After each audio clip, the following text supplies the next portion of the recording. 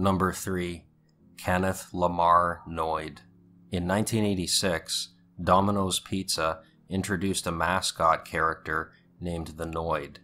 The Noid was seen by many as a bizarre choice for a mascot. Rather than being a character who promoted the company's products, the Noid, who was portrayed as an ugly, manic, goblin like character, was said to represent all the things that could go wrong with a speedy pizza delivery, and that only Domino's, which at the time was heavily promoting its 30 minutes or less delivery guarantee, could deliver pizzas that were Noid free. On January 30th, 1989, a 22 year old schizophrenic named Kenneth Lamar Noid entered a Domino's pizza restaurant in Atlanta, Georgia, just after 11 a.m. He drew a 357 Magnum revolver and took two employees hostage. Kenneth explained to his captives that Domino's owner, Tom Monaghan, had routinely spied on him at his apartment, stolen his name, and created the Noid character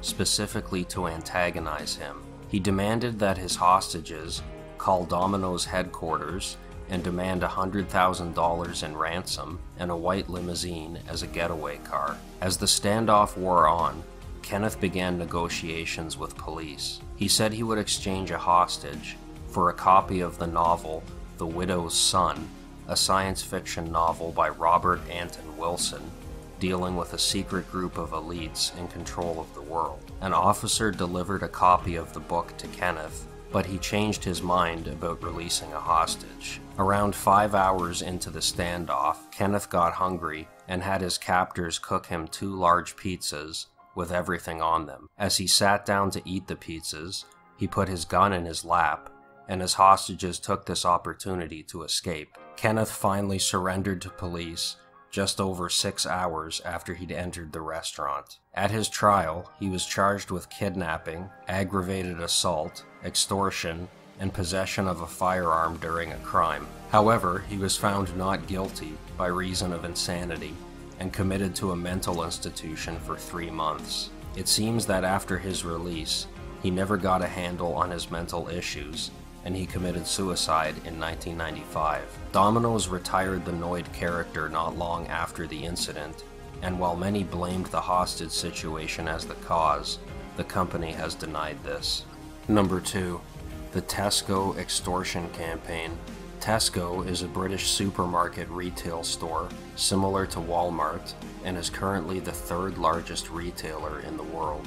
In August of 2000, John Purnell, director of security for Tesco, received a phone call from a newsagent in Bournemouth, Dorset, who had discovered a bizarre letter left in his shop's photocopier. The letter made reference to club cards, a loyalty reward program for Tesco customers. The letter demanded that Tesco modify club cards so that each one could be used to withdraw £1,000 from an ATM and to distribute the modified cards with the Bournemouth Daily Echo, a local newspaper. Tesco was to provide the writer with a PIN number known only to them, with which they could use to withdraw the cash. How the retailer was supposed to secretly provide the writer with this PIN number is unclear. The letter was signed Sally. A few days after this letter was discovered, Dorset police received several letters from Sally threatening to send bombs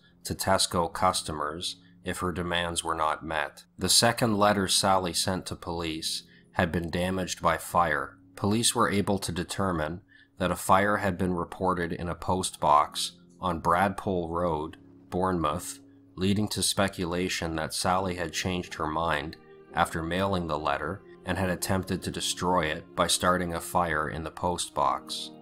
The police attempted to communicate with Sally by way of a classified ad in the Bournemouth Daily Echo, but received no response. Three weeks later, while high ranking police officials from across the United Kingdom were holding a meeting to determine the threat posed by Sally, a woman named Jean Evans, who lived in a suburb of Bournemouth, was injured by a letter bomb sent by Sally. A further seven bombs were sent to Tesco customers, but all were located by police and defused by the army, as well as several bombs left sitting in post offices due to insufficient postage. Another letter was sent by Sally in October, threatening to attack Tesco customers with pipe bombs if her demands were not met. This letter contained a cipher which allowed police to communicate with Sally by way of messages disguised as word searches placed in the Bournemouth Daily Echo. This letter was traced back to the same post box that had been damaged by fire the previous month,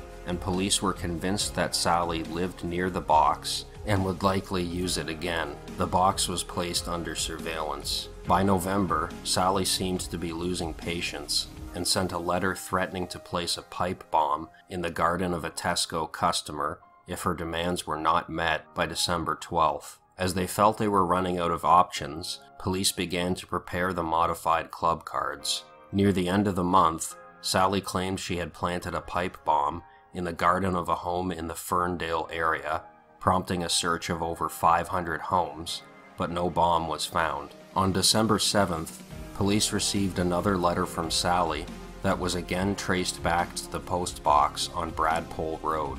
Due to British laws regarding mail, police could not open or delay the letters, so they traced all of the items posted from the box to their recipients and thus were able to identify all but a small number of the senders.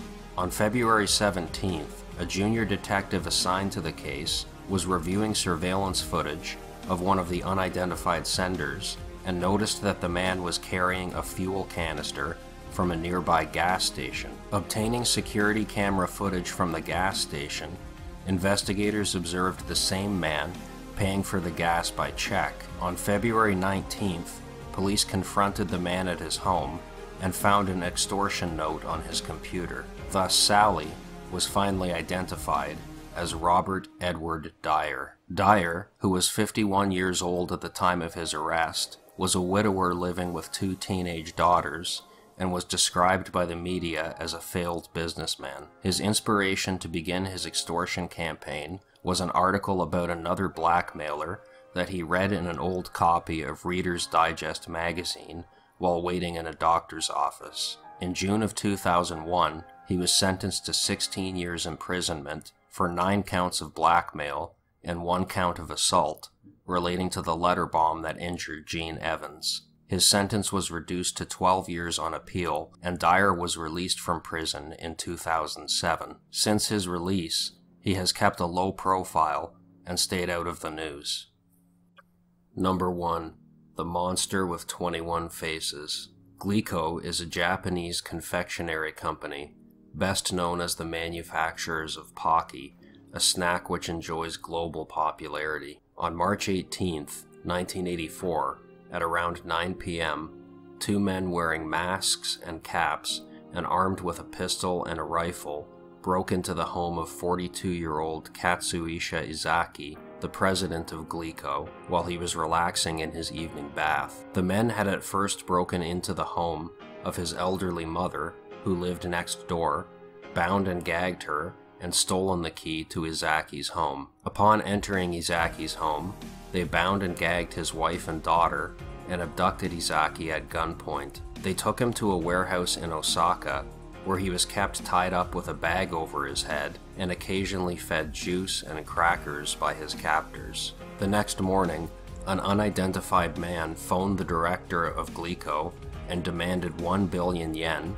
equivalent to about 4.2 million US dollars at the time, and 100 kilograms of gold bullion in exchange for Ezaki's release. However, three days later, Ezaki was left alone by his captors, and he managed to free himself from his bonds, kick down a door, and escape. News of the crime shocked the nation, as kidnappings were a rare phenomena in the country, and violent home invasions were almost unheard of. However, the kidnapping of Ezaki was only the beginning of a campaign of terror directed at Glico and the nation of Japan. Several weeks later, on April 10th, several cars were set on fire in the parking lot of Glico's headquarters. One month later, a plastic bottle filled with hydrochloric acid was found in a parking lot. A threatening letter was taped to it. In the letter, which was addressed to Glico, a person or group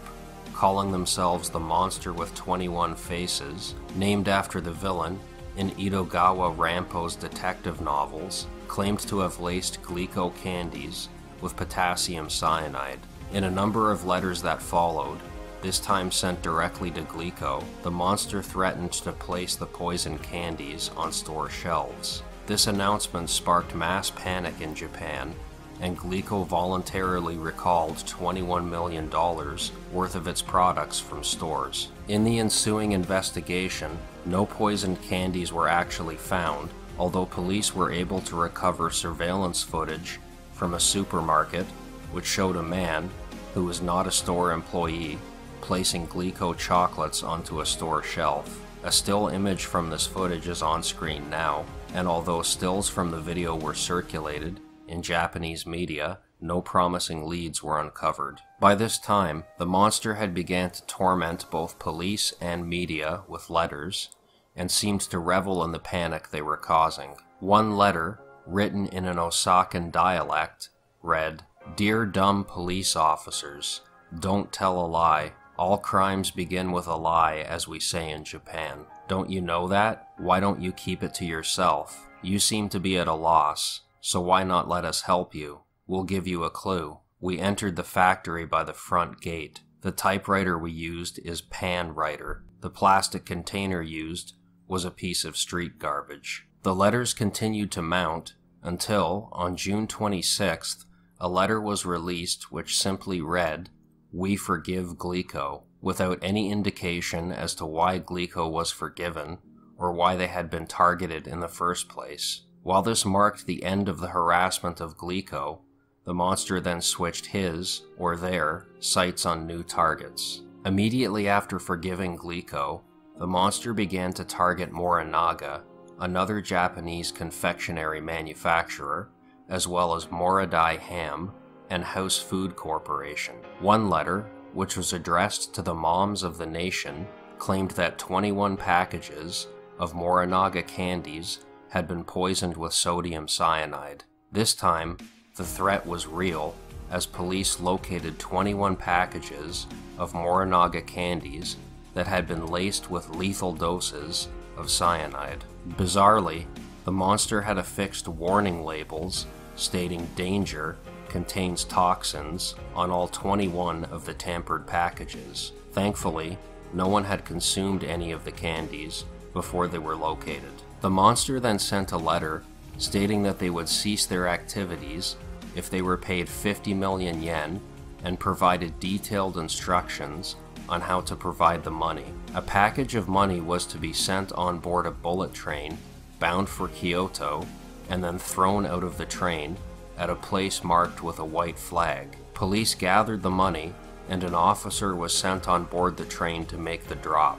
However, no white flag beside the tracks was sighted at any point during the journey. During the train ride, the officer reported being stared at by a man with short, permed hair and eyes like a fox, who would thus become known as the Fox Eyed Man, suspected as being the mastermind of the operation.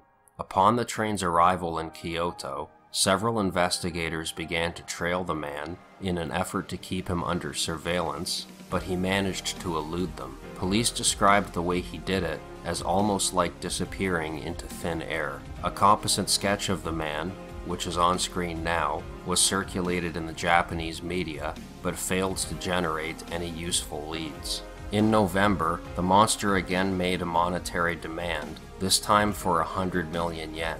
The money was to be driven in a van to a highway rest stop and placed inside a can, which would be left under a white cloth. Police from six different prefectures coordinated on the operation, and when the van was driven to the drop point, the white cloth was found, but there was no can. Police suspected that the monster was toying with them However, it soon emerged that there may have been another reason why the monster didn't leave the can as specified. An hour before the drop was made, a police officer with the Shiga Prefectural Police Department, which was uninvolved with the secret sting operation, spotted a suspicious station wagon with its headlights off and engine running parked in the area near the white cloth. When the officer approached the car on foot, the driver sped off, but not before the officer got a good look at his face. It was none other than the fox eyed man.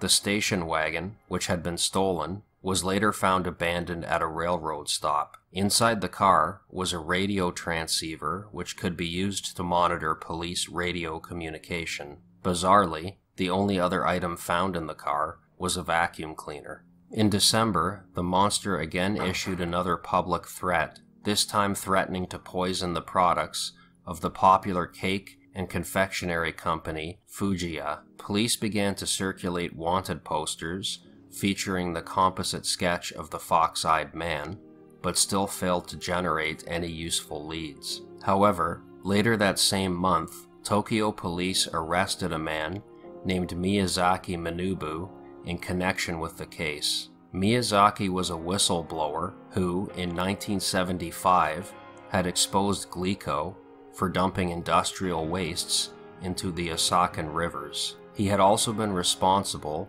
for the resignation of a union leader over accounting irregularities pertaining to Glico. There were two main reasons for his arrest. Firstly, police had come into possession of an audio tape made by Miyazaki, which they said recorded him speaking in a manner similar to the wording and phrases used by the monster in their letters. Secondly, Miyazaki's father was a known Yakuza or Japanese mafia member who was also said to bear resemblance to the composite sketch of the fox eyed man. However, both men's alibis for the times when the fox eyed man was encountered by police were described as being airtight, and no physical evidence connecting either of them to the crimes was found, and neither man was ever charged in connection to the case. By August of 1985, the case continued to attract media attention in both Japan and around the world, and police were no closer to identifying any suspects. On August 7th, Shiga Prefecture Police Superintendent Yamamoto committed suicide by self immolation due to his failure to solve the case. Five days later, on August 12th, the monster sent what would turn out to be their final communication. The letter read Yamamoto of Shiga Prefecture Police died. How stupid of him. We've got no friends or secret hiding place in Shiga. It's Yoshino or Shikata, police superintendents from other prefectures, who should have died. What have they been doing for as long as one year and five months? Don't let bad guys like us get away with it. There are many more fools who want to copy us. Yamamoto died like a man, so we decided to give our condolences. We decided to forget about torturing food making companies. If anyone blackmails any of the food making companies, it's not us, but someone copying us. We are bad guys. That means we've got more to do than bullying companies. It's fun to lead a bad man's life. Monster with 21 faces. Just like that, the monster vanished like smoke, never to be heard from again, and despite the efforts of the investigation, involving the efforts of over 1 million police officers from across Japan and interviewing of over 12,000 suspects, the case remains unsolved. The case was seen by many as exposing the inefficiency of the Japanese police and led to many changes and overhauls in police departments across the country. As of the year 2000, all statutes of limitations regarding crimes committed by the monster have run out, meaning the perpetrator or perpetrators of the crimes are now free to tell their stories with immunity. But as of the time of this video, no one has ever come forward. Thanks so much for watching today's video. Hopefully you found it interesting. If you did, and you haven't already, please subscribe, give it a thumbs up, and check out my other videos. Thanks for watching.